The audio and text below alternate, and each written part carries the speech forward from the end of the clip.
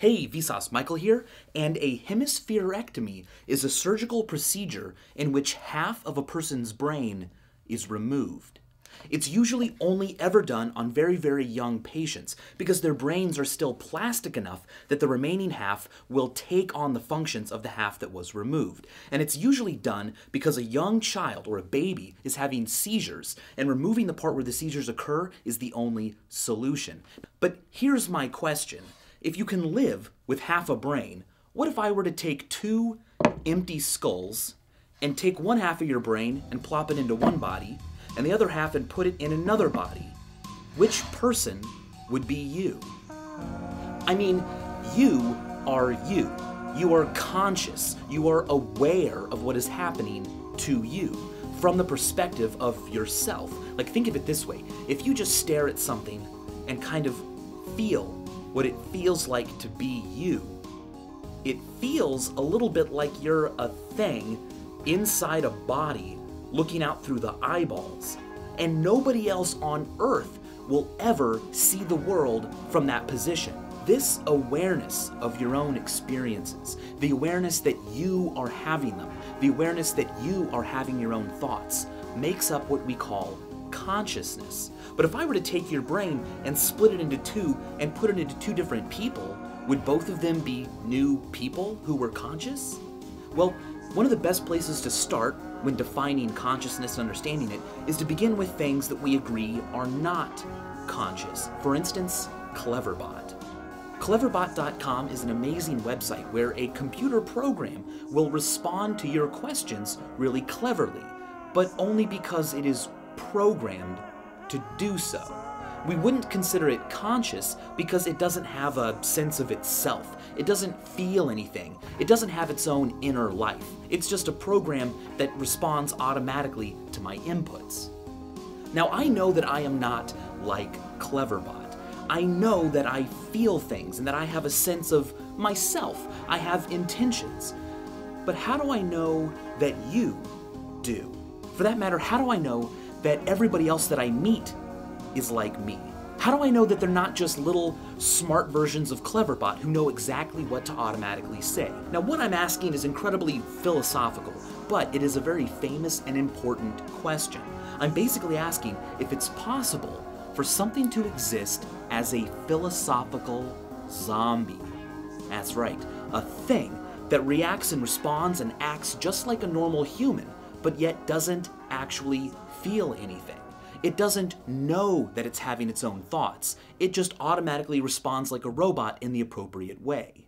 Now, what's amazing and heavy about this question is that science doesn't have an answer. And it's not even clear that science will ever have an answer, let alone an approach to finding that answer. About all we have is the psychology of disorders of consciousness. Let's begin with anosognosia.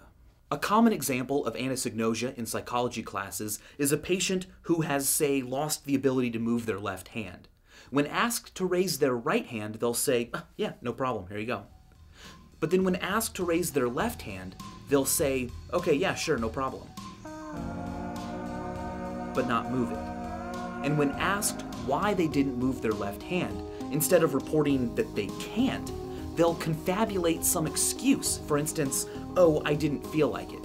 Anton Babinski syndrome is even more dramatic. Patients with this syndrome are cortically blind. They cannot see anything, but they deny being blind. If you ask them a question, for instance, how many fingers am I holding up? They will make a guess, but if they're wrong, they'll explain their inaccuracy with an excuse. For instance, oh, well, I don't have my glasses. People who exhibit anosognosia tend to be the victims of stroke, and there's some disconnect between what they're really experiencing and their conscious awareness of it. They don't know that they can't see because the part of their brain that monitors visual input isn't telling the brain anything. It's not even telling the brain that there is no visual input, which means that the parts of their brain responsible for answering questions or creating speech has to completely create a confabulated response. Despite the fact that we've been able to study patients with anosognosia, we still have no idea how to solve our original problem. In fact, all we've managed to come up with are more impossible questions about identity. Questions that are so befuddling, the best you can do with them is to answer them yourself according to what you believe. Here's another one.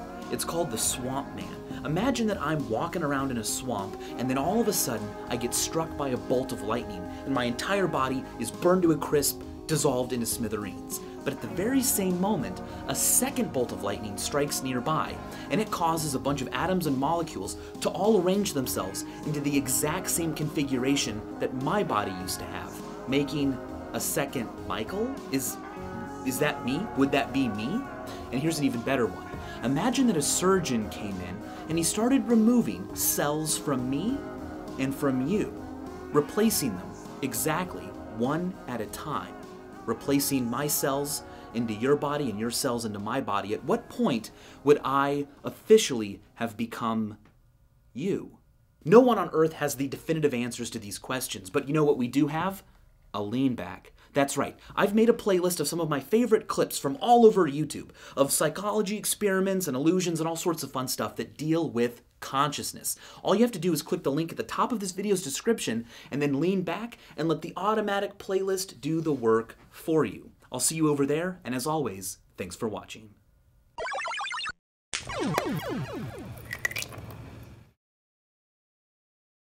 Hey, Kevin, any new YouTube messages? Actually, yes, I just got this message over at Vsauce 2 from a user who doesn't create videos, but he organizes them in his own playlists. Yeah, yeah, that's excellent, because there's so many videos on YouTube, we need people to help organize them, especially by type. Imagine a channel of playlists ranging from cool songs to listen to when it rains. Or best explosions ever. Exactly. If you make a playlist that you think is really cool and full of stuff that we should know about, send it to michael at vsauce.com and we'll feature the ones we really like because you have made YouTube a better, more organized place.